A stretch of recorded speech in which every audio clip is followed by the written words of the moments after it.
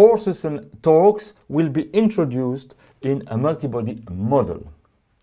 Above all, let us remind that any kind of force will be represented by its resultant value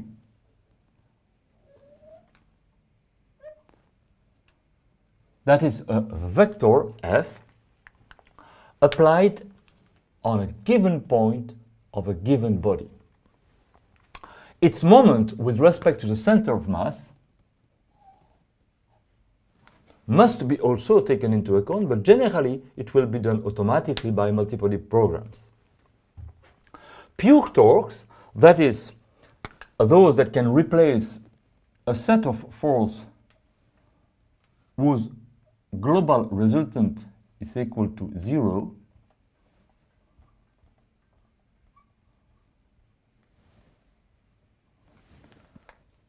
are really useful in formulation. And so these force can be advantageously replaced by a pure torque that will be introduced in the equations of motion. Finally, any forces on the system must be represented by its constitutive law. A constitutive law is the way the force is related to the kinematics of the system. You can find it for a damper, for, let's say, the force of the, the ground on a tire, or for a spring, for which simply the force is proportional to the spring deformation.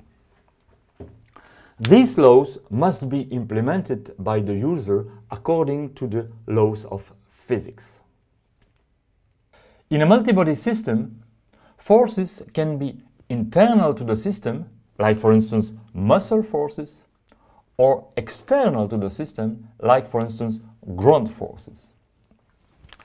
In the present approach, four kinds of forces will be available to our external, to our internal to the multibody system. The external forces are the weight and the so-called environment forces. The weight or the gravity force, if any, is the simplest external force from the modeling point of view. Indeed, its resultant simply applies to the center of gravity of the body, roughly the center of mass, and at the same time define the vertical direction.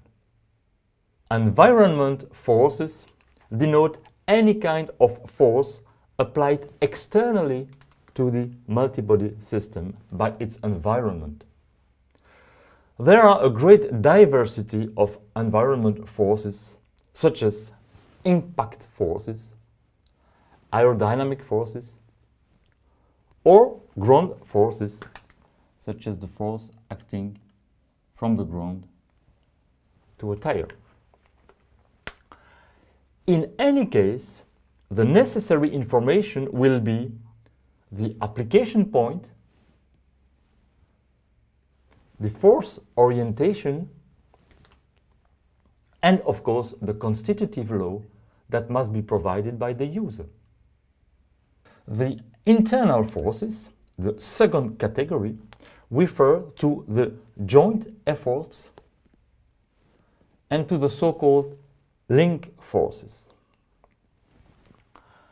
Joint efforts are typical to multibody system and refer to internal force in a prismatic joint or pure torque in a revolute joint acting between the two concerned bodies in the direction of the joint motion.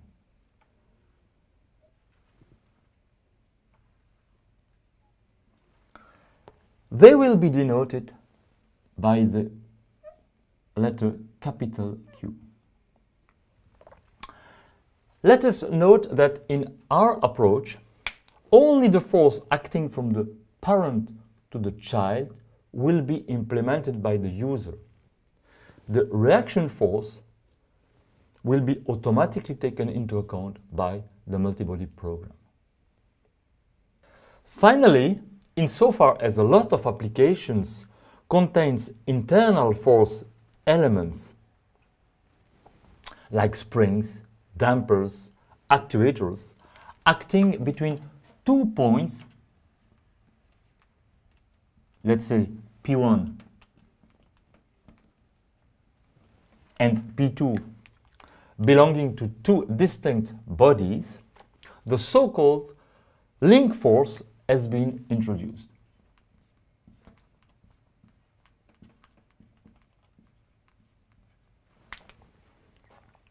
The hypothesis underlying these forces will be clearly defined and explained in the module. By the way, these forces are really convenient to deal with a lot of applications, for instance, to deal with the modeling of vehicle suspension elements. The only useful information for those forces are the location of the two points, P1 and P2, and of course, the constitutive law of the force. To conclude, let us show where the above-mentioned forces appear in the matrix form of the equations of motion. The gravity and the environment forces are part of the vector C. Vector Q on the right side of the equations of motion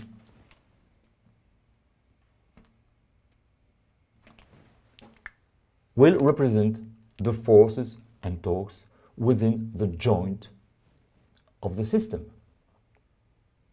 One could wonder where the link forces do intervene in the equations. The answer comes from the way they are treated in our approach. The action, let's say the one acting at P1, and the reaction, let's say the one acting at P2, are internally treated as two opposite external forces. And thus they also will belong to the C vector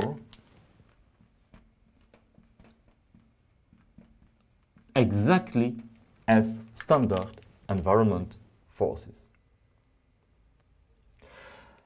In this module, you will learn how to deal with all these kinds of forces via examples of increasing difficulty.